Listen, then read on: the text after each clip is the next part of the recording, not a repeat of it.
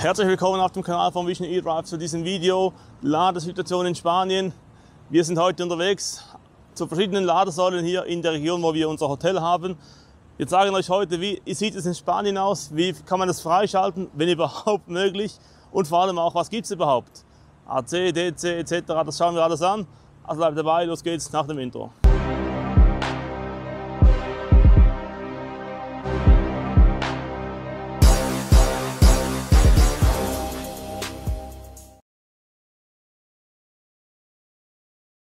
Ja, wer kennt es denn nicht mit dem Elektroauto in die Ferien gehen, in den Urlaub?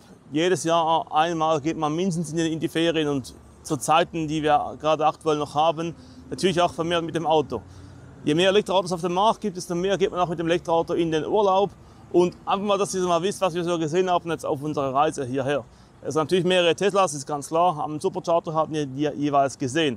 Aber wir haben auch Zoe gesehen, wir haben hier einen Icona gesehen, wir haben Kia e-Niro gesehen, wir haben, aber das ist auch der Fakt, keinen VW ID3 gesehen, keinen Skoda Enyaq gesehen. Das gibt es noch nicht hier. Also eher wenn denn so die Koreaner oder dann eben in der Zoe, vor allem in Frankreich, gibt es die relativ häufig. Nun gut, also was ist also das Problem? Wenn man mit Elektroauto in die Ferien geht, dann muss man das Auto irgendwann laden können. Die, wenn man einen Tesla fährt, klar kann man einen Supercharger, Destination Charger, aber das blenden wir heute einmal alles komplett aus wir zeigen euch heute mal die Situation, wie es eben ist mit einem anderen Auto, also nicht mit einem Tesla zum Beispiel. Und da braucht man halt eine Ladesituation am Ferienort, sei das im Hotel, das wäre das, der Jackpot mit dem Juice Boost oder mit was auch immer laden, wie wir es jetzt auch hier machen mit dem Schuhkost, das reicht völlig aus. Wenn man das aber nicht hat, muss man irgendwo das Auto laden können. Man will mal einen Ausflug machen, wenn man irgendwo in die Stadt fahren, essen gehen etc. Das Auto muss man irgendwie laden können. Und dazu braucht es eben die öffentliche Infrastruktur und das ist noch ein bisschen das Problem im Ausland, kann man sagen. Vielfach wird erklärt, ja, Italien, Spanien, Portugal, da ist schwierig. Ich habe es auch schon angesprochen, als ich ein Video von Valencia, ich fliege es euch mal hier oben in den Infokarten, den Ionic 5 getestet habe übrigens. Valencia hier etwa 250 Kilometer entfernt, dass ihr es einschätzen könnt, wo wir heute etwa gerade sind. Das heißt, ich brauche öffentliche Infrastruktur und wir sind heute mal an zwei Orten unterwegs hier in der Umgebung Cambrils. Eine davon schauen wir jetzt gleich an, da sind wir schon hierher gefahren. Kommt mal live mit bitte. Ja, und das seht ihr jetzt also auch mittlerweile bereits. Es gibt hier schon etwas, wenn man es sucht. Es gibt hier vor allem auch sehr viel. Eins, zwei, drei äh, Ladesäulen mit 50 kW DC. Chademo ist auch dabei und vor allem gibt es auch noch zwei Typ 2 Säulen separat, also hier vom Anbieter Iberdrola. Also Iberia, irgendwie Energie. Wir haben es vorhin mal ein bisschen gegoogelt. Das ist einer der größten Energieanbieter hier in der Region. Und von daher ist es nicht schlecht, dass es hier etwas gibt. Und das sieht vor allem noch ziemlich, ja, ziemlich äh, modern aus, kann man sagen. Es gibt überall RFID-Lesegeräte, Lesegeräte, so. Und wir sehen hier auch noch eine Anleitung, wie ich eben die Station freischalten kann. Also wir haben hier AC mit dem Stecker gebunden, das heißt jemand, der auch keinen Stecker dabei hat, kann ja quasi laden. CCS ist ja auch mit dabei, 50 kW. Und hier ein Jaremo, der ist auch noch verfügbar. Anhand des Kabels muss ich sagen, was sollten eigentlich 43 kW sein an der Kabeldicke an. Also ein 63 Ampere Kabel. Für die, die noch Renault Zoe fahren, die doch den Schnelllader Renault Zoe haben mit 43 kW AC, das kann man hier also laden. Es hat aber auch so AC-Buchsen, schau hier. Die sind auch vorhanden, da muss man das Kabel mitbringen, aber die meisten haben das sowieso dabei. Ist dreiphasig, mindestens 11 kW würde ich mal behaupten wenn nicht sogar 22. Ich schau hier, 32 Ampere heißt also 22 kW kriege ich hier an dieser Buchse und auf der anderen Seite habe ich nochmal seine. Also, was macht man hier also? Wir haben hier eine Tankstelle. Wir haben hier so einen äh, Tankstellenjob. Vermutlich mal die Leute, die jetzt auf öffentliche Infrastruktur angewiesen sind, kommen hierher, stecken den CCS ein, warten eine halbe Stunde, haben sie genug Reichweite, um wieder sich ein paar Tage hier im Urlaub bewegen zu können. Was ist so mit der Bevölkerung, die hier wohnt? Die ist natürlich nicht hier, die damit jetzt die ganze Zeit laden. Die kommen vielleicht hierher und nehmen ihr Elektroscooter mit und fahren dann wieder nach Hause, was hier übrigens sehr, sehr viel gibt. Es gibt ja unglaublich viele Elektroscooter, das ist unglaublich. Und die stecken dann ihr Auto an, laden hier AC und kommen drei, vier Stunden später wieder und fahren wieder nach Hause. Das ist schön und gut. Ihr seht hier, es gibt wirklich jetzt hier, zumindest hier, genügend Standorte. Das Problem ist aber, ob ich sie auch freischalten kann. Und ich habe dabei immer meine Ladekarten. Ich habe hier dabei EMBW, Das geht hier natürlich nicht in Spanien, ist ganz klar. Ich habe Maingau und ich habe ChargeMap. Und warum ich ChargeMap eigentlich auch ganz gut finde, nebst den Preisen, ist die, die Möglichkeit eben, das in ganz Europa benutzen zu können. Und diesen Standort hier habe ich auch mit ChartMap gefunden. Ich blende euch hier mal kurz die Karte dessen ein. Und das seht ihr auch anhand dieses Symbols, dass es eben mit dem ChargeMap Pass funktioniert, dass es eben kompatibel ist. Das heißt also, wir stecken jetzt mal den Tesla ein und ich muss ja natürlich nicht laden, ich kann ja beim Hotel laden, das ist klar. Aber natürlich, um euch das zu zeigen, mache ich mal die Ladeklappe auf kurz. So. Dann den CCS mal einstecken, zack. Der Display ist ziemlich schwarz und dunkel. Da ist nichts irgendwie funktionstüchtiges. Das Kabel hat zwar verriegelt, das heißt Verbindung gibt es irgendwie. Jetzt mal probieren. Was passiert jetzt, wenn ich die Karte hinhalte? Nichts. Was passiert mit ChargeMap Karte? Nichts. Okay. Denn hier steht, es sei irgendwas von App QR Code. Ich mache jetzt auch mal live. Ich, ich kenne mal den QR Code jetzt ein. Ja? Was passiert denn da? Also, es steht hier unten auch noch auf Englisch dran, für die, die jetzt kein Spanisch können. Jetzt, wenn ich das also den QR-Code eingescannt habe, dann geht ja so eine, so eine App auf. Das ist genau die App von diesem Laden. Ich lade mal die App mal runter. Natürlich braucht man auch irgendwo im Ausland auch ähm, 4G oder LTE. Ohne das geht es praktisch nicht mehr. Aber die meisten, muss ich kurz, dass es auch erkennt von Face ID. Aber das meiste, das Gute ist ja daran nicht, dass man das praktisch überall bei den äh, Handy-Abos mittlerweile hat. Zumindest in der Schweiz ist das so. Ich habe dennoch meine Bedenken, dass es funktioniert, weil das Display einfach dunkel ist. Habe ich wirklich meine Bedenken zu. Wir laden es jetzt einfach mal runter. Übrigens, wenn ihr das Video schon gesehen habt vom, äh, von unserer Hinreise und vom, vom Roadtrip quasi, haben wir da den Herr getroffen in Tarragona am Supercharger, der uns gesagt hat, dass es so eine App gibt, lokal, wo man die Stationen alle freischalten kann. Ich probiere das mal danach auch noch kurz eben aus. Ähm, ich öffne die mal eben kurz jetzt. Scheint aber hier nicht so gute Verbindung zu haben. Das ist dann ein anderes Problem. Ich habe meine Bedenken, ob es funktioniert, ehrlich gesagt, weil es sind alle Displays schwarz. Also auch der hier da zum Beispiel ist schwarz. Es sind alle dunkel. So. Es sieht so irgendwie tot aus. Und das wäre ultra schade, denn es gäbe hier wirklich, ihr seht es ja auch, auch die Bodenmarkierungen sind gemacht worden. Nicht zum Spaß vermutlich mal, sondern wirklich auch, dass man die irgendwie nutzen kann. So. Ja, zeigt die hier nicht an.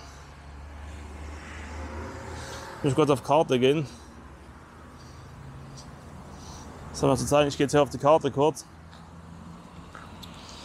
Wahrscheinlich seht ihr es nicht im Video, aber es ist wirklich so schlechter Empfang hier. Nur 3G. So. Also schau hier auf diesem lokalen App zeigt er mir zwar hier Iberdrola Charging Station zeigt er mir die an auf Google Maps, also quasi über Google Maps zeigt er mir die an, aber nicht in der App drin auf diesem lokalen App. Das ist schon mal ein ganz schlechtes Zeichen. Aber nicht zum Versuch zu lassen, wir lassen jetzt mal die App laufen, die eben hier effektiv ähm, von diesem QR-Code quasi ist. So, beim Verwenden der App erlauben, Mitteilung senden, ja, App-Tracking ablehnen, Bluetooth, ja, ja. Gut, weiter, weiter, weiter. So. Also es steht ja mal zumindest sauber drin. Sie können verschiedene Arten von Ladestationen finden, Betriebs etc. So. Ich bin also hier, oh, schau mal, er findet auch in der Schweiz solche. Nein, in der Schweiz nicht, nur in der EU in dem Fall, okay. QR-Code, sieht das QR-Code aus, muss ich die Kamera, genau. Jetzt kann ich mal den QR-Code eingeben, mal schauen, was jetzt passiert. So, er erkennt sie. Ja. Also. Boah, ist aber günstig, ey. 30 Cent pro Kilowattstunde ist wirklich, wirklich fair. Also schaut, jetzt hat er hier was gefunden quasi. Außer Betrieb. Simon 2. Voilà. Das Ding ist jetzt das, hätte ich gesehen, dass es funktioniert. Oder dass es nicht funktioniert. Ah, schau. Ich sehe hier auf diesem App alle Punkte, auch die daneben. Und das schaue ich mal hier kurz. Im Bau befindlich, obwohl die schon fertig ist. Interessant. Die, Im Bau befindlich. Aber schaut da hinten, sie ist existent. Vielleicht ist sie noch nicht aktualisiert worden. Also, dann haben wir die Punkte 1, 1, das ist auch nicht, dann ist die rote hier, die wo wir gerade stehen. Das ist die, die außer Betrieb ist. Ja. Wie wir, wie wir vorher vermutet, 43 kW. Und das da schnell TCS, aber gemäß dem App sollte eigentlich die Station nebendran grün sein. Das wäre dann die da verfügbar, ist zwar noch Typ 2, aber schau mal, wie günstig das ist, man. 15 Cent pro Kilowattstunde. 15 Cent. Meine Damen und Herren, das ist faktisch geschenkt. Das ist günstiger als bei uns zu Hause. Ja, nicht ganz, nicht ganz. Bei uns zu Hause zahlen wir 12 Rappen pro Kilowattstunde. Das sind umgerechnet ca. 10 Cent. Aber hallo, 15 Cent pro Kilowattstunde, das lohnt sich definitiv. Stellt euch mal vor, zum Beispiel hier in der Kona 64 Kilowattstunden Batterie, 64 mal 0,15, das wären 9,60 Euro für eine Vollladung des Hyundai Kona Elektro. Jetzt weiß ich ja, warum man hier Kona und E-Niro fährt. Also, Preis ist schon mal absolut top. Und das ist ja nur ad hoc. Das ist ja nur über die App da, runterladen und dann freischalten.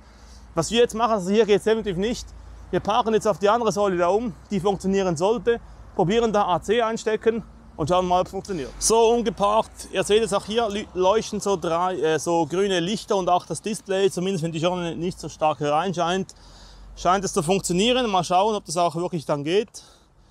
Wichtig ist, Typ 2 Kabel ist Sackbefehl Nummer 1, das sagt man im Schweizer Militär so. Und einstecken. Und jetzt mal gucken, was passiert. Jetzt probiere ich es nochmal mit der App freizuschalten. Mit dieser App, wo auf der Station drauf steht. So, welche habe ich jetzt benutzt? Die. Welche Seite war jetzt das? Es hat eben zwei. Die rechts wahrscheinlich. Aufladen. Ah, jetzt muss ich hier ein Passwort eingeben.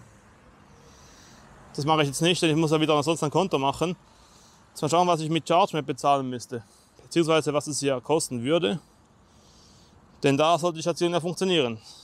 Dann halten wir mal ChargeMap vor. Ja, man kann jetzt ein Konto machen bei dieser App. Das lasse ich jetzt aber mal so bleiben. Halt mal ChargeMap. Was passiert jetzt? auf dem Display guckend, er ist am Prüfen, es funktioniert, es hat ihn identifiziert. Schau, siehst du den Mensch da, den blauen? Wahrscheinlich nicht, oder? Nö. Und jetzt? Er lädt. Er ist da am Verbindung aufbauen. Und jetzt blau. ist er da am Laden. Er ist jetzt im Laden. Tesla ist grün am Blinken, heißt er lädt. Ja. Er lädt mit 11 kW. Was können wir jetzt hier für ein Fazit darüber ziehen? Erstens, ChargeMap zeigt diese Station hier an, dass man sie mit der ChargeMap-Karte freischalten kann. ihr habt es gesehen, es geht auch. Was es nachher kostet, das, das erfahre ich dann nachher. Wahrscheinlich nicht diese 15 Cent, aber ist das für das Video mal vollkommen egal. Faktisch, wenn du hier wohnst oder wenn du in den Urlaub gehst für längere Zeit hierher und du erkundigst dich im Vorfeld, was man aber machen muss, das ist ganz klar, man kann nicht einfach hierher kommen, so wie wir jetzt heute, dann wirst du diese App da finden. Wirst du. Lässt du sie runter, machst ein Konto und dann zahlst du hier 15 Cent pro Kilowattstunde beim AC und 30 Cent beim CCS, wenn es denn funktioniert. Ich muss jetzt an dieser Stelle gar nicht sagen, ihr seht auch hier eine Stehenstation da. Es ist nur die momentan funktionsfähig. Was heißt das? Ich habe gesehen in der App von dieser Iberdrola, Iberdrola, so, dass die Stationen hier nicht funktionieren. Habe ich gesehen in der App, dass nur die funktioniert und die funktioniert auch. Gebe ich da schon mal einen Daumen hoch. Das schaffen viele europäische Apps leider nicht. Auf ChargeMap, also europäische in unseren Breitengraden, ihr wisst schon, was ich meine. Und auf ChargeMap habe ich eben nicht gesehen, dass diese da nicht funktionieren. Ich werde es dann nachher noch machen. Man kann ja das so Community, kann man das Zeug so quasi äh, untereinander austauschen, dass sie nicht funktionieren. Das werde ich nachher noch machen. Beziehungsweise ich vermute jetzt einfach mal, weil die Stationen sehen, wie gesagt, noch ziemlich ja, neu aus, ist noch nicht so versandet und, und verrostet und so. Von daher denke ich einfach auch, dass diese Stationen da, also die hinteren da, dass die noch ins Netz aufgenommen werden. Vermute ich zumindest mal so. Es würde auch Sinn machen, denn äh, ja, sonst hätte man die Station jetzt da schon nicht freigeschaltet. Aber Fakt ist, er lädt jetzt. Ich könnte es halt jetzt hier stehen lassen und dann wieder ins Hotel zurückgehen. Das ist natürlich klar aufwendig, ist logisch. Aber ich könnte es eben machen und ich brauche also jetzt hier nicht irgendwie stranden, dann mache ich halt diese, diesen Aufwand. Natürlich wäre es schöner gewesen, hätte ich 50 kW herladen können mit dem CCS. Ist nun halt, nun halt mal aber so, wie es eben ist. Was wir jetzt machen, wir fahren jetzt noch zum Hafen, zu einer anderen AC-Säule, ist nur AC, das ist zwei Stecker. Ich hoffe, die Plätze sind frei erstens und zweitens auch, versuchen wir auch da das freizuschalten, denn da soll es nicht mit ChargeMap funktionieren und da bin ich gespannt, ob wir es freischalten können und wenn, wie viel Aufwand es ist. So, die Station am Hafen war leider, leider ein Fahrverbot, da konnten wir nicht durch, war nur für Fischer zugänglich, hat so eine, eine Schranke gehabt eben. Natürlich fragt man sich dann schon, warum die Station in, äh, in der App angezeigt, also in der Charge Map angezeigt wird. Ich habe mittlerweile auch schon die Rechnung erhalten für die Ladung, in, äh, was wir gerade eben gewesen sind.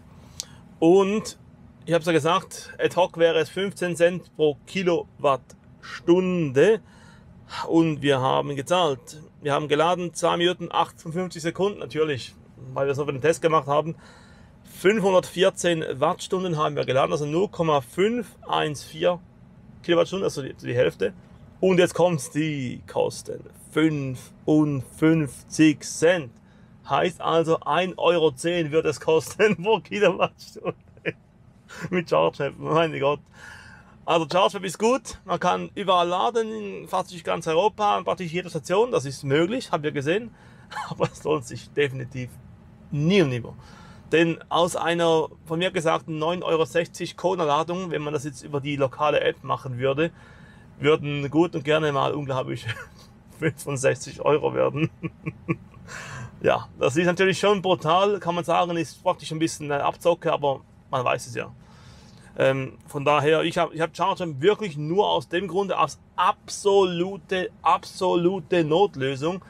Und die war auch noch damals bei, beim Kona, wo ich in Kona gefahren bin. Jetzt ist natürlich auch das natürlich völlig äh, unmöglich. Ich muss aber sagen, die App benutze ich relativ gerne. Einfach zum so Sachen finden eben. Und das Ding ist jetzt eben folgendes. Wir blenden euch jetzt eine Szene in der Nacht ein. Die sind wir, da haben wir vor zwei Tagen aufgenommen, als wir nach, in die Stadt nach vorne gelaufen sind am Abend. Und äh, da hatten wir leider kein Mikrofon dabei, deswegen die Tonqualität ein bisschen schlechter und vor allem ein schreiendes Kind war die ganze Zeit zu hören. Aber nun ja, es sollte ja mehr um die Stationen gehen, um die Ladesäulen gehen. Und da haben wir gezeigt, was eben noch möglich ist. Und wir haben auch da gesehen, dass auch da zwei, oder sagen wir mal eineinhalb Elektroautos geladen haben. Eins war ein Plug-in-Hybrid, das zähle ich nicht zu Elektroautos dazu, ehrlich gesagt. Aber ein Kona hat geladen. Und wir blenden euch jetzt mal die Szene ein, dass ihr seht, dass es auch in Spanien durchaus Elektroautos gibt. Dieses Video leider ohne Mikrofon, aber was sehen wir hier? Wir sehen hier eine Typ 2 Ladestation mit einem Typ 2 Stecker. Hoffentlich seht ihr es einigermaßen. Es ist zwar dunkel, aber es ist dreiphasig. Wir sehen hier auch noch ist ein Auto am Laden, ein Plug-in Hybrid. Und hier steht ein Hyundai Kona 2020 vermutlich, denn so viel ich sehe, ist es ein 32 Ampere Kabel, sollte also dreiphasig laden können. Also, wir sehen hier die Stationen, die sind hier auch vorhanden. Und was wir hier auch sehen, ist, wie man sich auch identifizieren kann. Ihr seht es hier, man kann es hier mit dem, äh, mit dem App runterladen. Und da kann man das hier entsprechend dann so machen oder mit der RFID-Karte. Es gibt hier auch noch Schuko-Steckdosen. Hier unten sind die nämlich drin. Ja, ja, ist jetzt gar nicht. Hast du mal schnell das Handy schnell mit dem Licht. Schau hier. Schuko-Steckdosen hier unten, die man einfach anstecken kann. Das wären dann 3 kW maximal. Und hier, und hier eben dann noch die Typ 2 Buchse. Und hier gibt es zwei Parkplätze für vermutlich Elektroroller. Sind das. Und hier ein Ford Kuga Plug-in Hybrid, wie gesagt. Er ist hier angeschlossen. Was ich sagen kann, ist jetzt nicht, zupack, äh, nicht, nicht zugeparkt von einem irgendwelchen Verbrenner, sondern stehen wirklich zwei, also zumindest eineinhalb Elektroautos stehen hier. Der Kona natürlich schon. Über den Plug-in-Hybrid, naja, da lässt sich natürlich auch streiten. Aber im Grundsatz kann man sagen, es gibt hier auch in der Stadt zumindest vereinzelt Typ 2 Ladestationen. Ist jetzt auch Selina ist gerade noch am Ausprobieren, was denn da für eine App erscheint. Was erscheint da für eine App? APK-App, Reus Transport, also es ist von dieser Region. Ist in dieser Region, ne? Und was? Ähm, Aber zumindest ist es, es steht hier drauf, was man hier, wie man es freischalten kann. Genau, und ich Also- muss kurz schauen. Ähm, hier, also das sieht eigentlich sehr gut aus. Ich nehme an, das wird über die Kreditkarte abgerechnet. Ist halt alles Spanisch, aber hier ist es auch auf Englisch Ja. erklärt. Und der RFID-Laser hat er hier auch dran. Ja. Ah ja, hier oben stimmt. Also wenn, wenn EMBW mal in Spanien geht, dann hat man hier natürlich auch Glück gehabt. Ansonsten müssen wir halt herausfinden, welche Karten. Genau, aber es ist überall QR-Code drauf, auch hier. hier zum Freischalten. Für die Schuckerdosen wahrscheinlich. auch zum Freischalten, genau. Also man muss es einscannen, dann einstecken und dann sollte es ähm, Funktionieren. funktionieren und dann kann man über das App wieder stoppen, so was ich denke. Wir laden hier natürlich jetzt. Oder- Was? Oder mit der RFID. Genau, oder mit der RFID-Karte. Wir laden hier natürlich jetzt nicht, denn wir sind hier aber nicht mit dem Auto hier, wir sind jetzt zu Fuß hierher gelaufen. Das ist so ein spontanes Video am Abend. Wir blenden es aber ein in diesem Ladevideo, das kommt. Eine Szene aus der Stadt Cambrils. So, also wir haben gesehen, mit ChargeMap findet man die Stationen einigermaßen, zumindest wenn sie nicht gerade im Hafen sind und abgesperrt sind. Wir probieren jetzt das Ganze mal über das Navi aus. Ist auch immer ein spannendes Thema. Bei Tesla einfach hier unten raufklicken. Dann zeigt er mir entsprechend hier die ähm, Ladestationen an.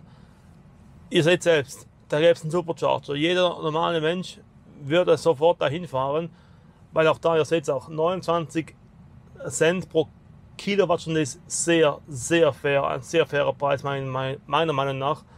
In Deutschland wurden die Preise ja auf 40 Cent angehoben. Und es gibt übrigens in Gambrils, also da, wenn ihr mal da in den Urlaub fahren wollt, ich mache es mal ein bisschen größer, dass ihr es auch seht, einmal so drehen, dann sieht es auch geografisch korrekt aus, ist ein bisschen zu extrem.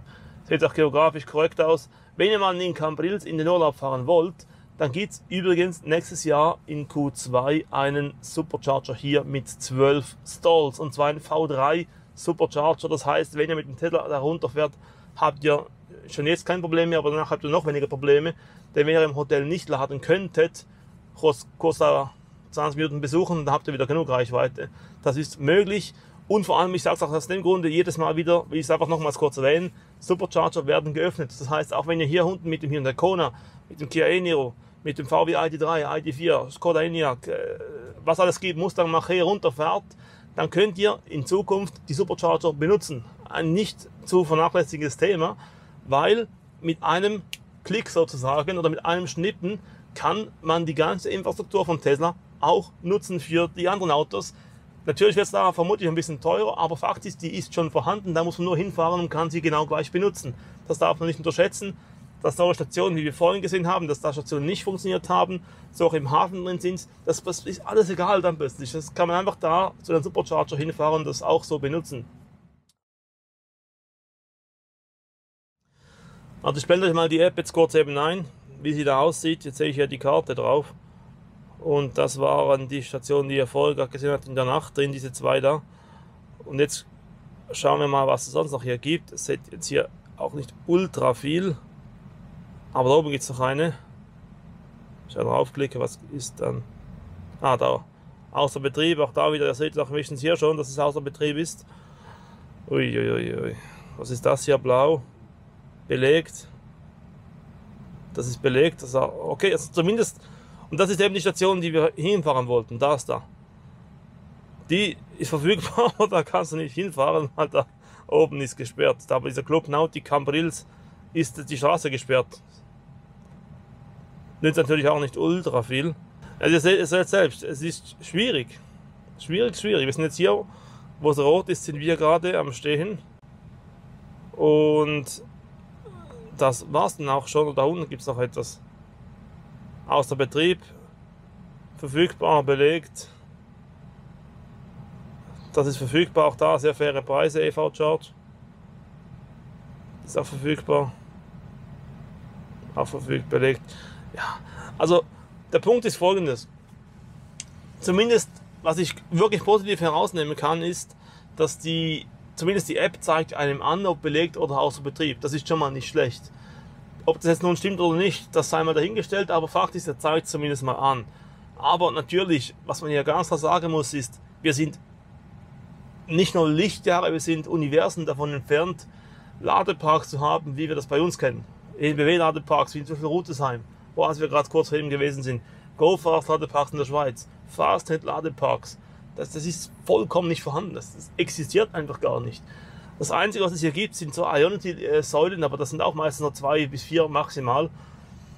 Das sind schon weit davon entfernt noch von, von uns zu Hause. Das ist auch logisch, denn ich habe gesagt, auch hier die Leute, die, die sind völlig anders eingestellt. Das, das, ist, das ist noch ganz weit weg, als wir da mit dem Teller durch die Stadt gefahren sind. Das war wie so ein, wie so ein, ein Spaceship oder so war, hat das ausgesehen. Und die sind das gar nicht gewohnt. Eben, es gibt vereinzelt Leute, die es haben und die benutzen die Station auch, weil die sind wirklich auch vorhanden, wenn man weiß, wie sie funktionieren.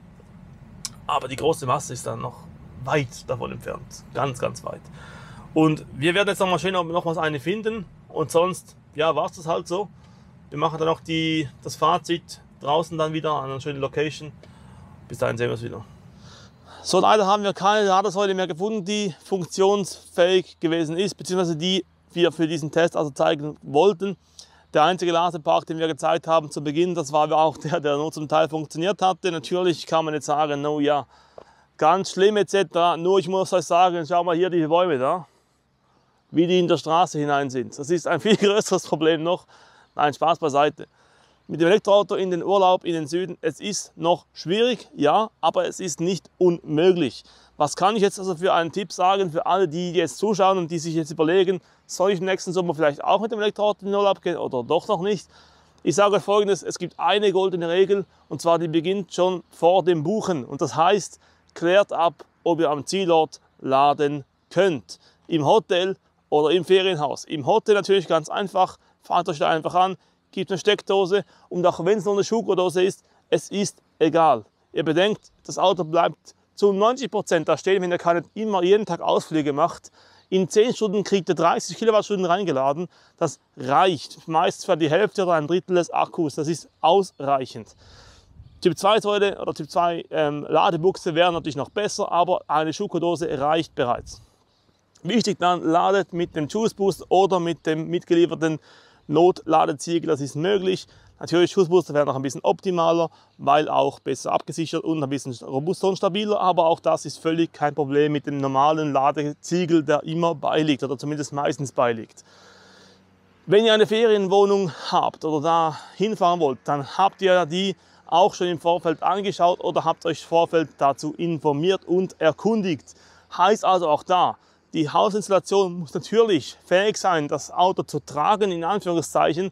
Aber im Zweifelsfall, wenn ihr mit dem Juice Booster ladet da, dann geht auf 6 Ampere runter. 6 Ampere verträgt jede Steckdose. Jede Steckdose, natürlich muss sie einigermaßen schlau installiert sein, aber 6 Ampere, die Steckdosen sind auf 10 Ampere mindestens, wenn nicht auf 13 Ampere ausgelegt. 10, 6 Ampere kriegt ihr meistens und dann kriegt ihr halt nur 1,7 Kilowatt. Aber auch das ist ausreichend für den Urlaub. Ihr müsst, das Auto nicht über Nacht voll kriegen. Es ist nicht nötig, denn ihr kriegt sonst auch so genug Reichweite rein. Ein anderen Tipp, den ich euch noch, nochmals, wirklich nochmals betonen will, ist, dass das Supercharger-Netz geöffnet wird. Vermutlich schon nächsten Sommer. Wir sind jetzt, haben jetzt September 2021. Vermutlich in einem Jahr, wo wir wieder hier sind oder in einem anderen Ort sind, dann reden wir schon ganz anders. Dann könnt ihr einfach mit eurem Elektroauto eurer Wahl von Supercharger zu Supercharger zu Supercharger hinfahren und die Distanz überwinden. Am Zielort ändert sich gar nichts, auch für den Täter nicht. Am Zielort muss man laden können. Auch das ist relevant, habt ihr heute gesehen. Könnten wir hier nicht laden, am Hotel oder halt an dieser Säule da ein bisschen weiter außen, dann müsste ich einfach, um Reichweite zu kriegen, an den Supercharger in Tarragona. Müsste ich machen, aber wäre möglich. Und auch das ginge also Stand heute bereits. Mit einem anderen Elektroauto, ich mache jetzt ein Beispiel, der Speröner Zoe, hat einen 50 Kilowattstunden Akku. Ja, ist noch schwieriger, aber auch da kann man am Hotel laden, wenn man es laden kann. Also goldene Regel heißt, am Zielort müsst ihr laden können, Hotel oder Ferienwohnung und dann habt ihr während des Aufenthalts keine Probleme. Das ist meine Message an euch. Wenn euch das Video gefallen hat, gebt mir einen Daumen hoch. Nicht vergessen, den Kanal zu abonnieren und die Glocke aktivieren, damit ihr jeweils benachrichtigt werdet, wenn denn ein neues online kommt. Das heute, wie gesagt, war jetzt ein Video vor Ort. Ladesituation in Spanien, genauer gesagt in Cambrils, Tarragona-Region, also ein bisschen südlich von Barcelona, zwischen Barcelona und Valencia. In der Mitte da ist dieses, diese zwei Dörfer quasi. Also, das war's mit diesem Video. Besten Dank fürs Zuschauen. Bis zum nächsten Mal wieder. Ciao miteinander und tschüss.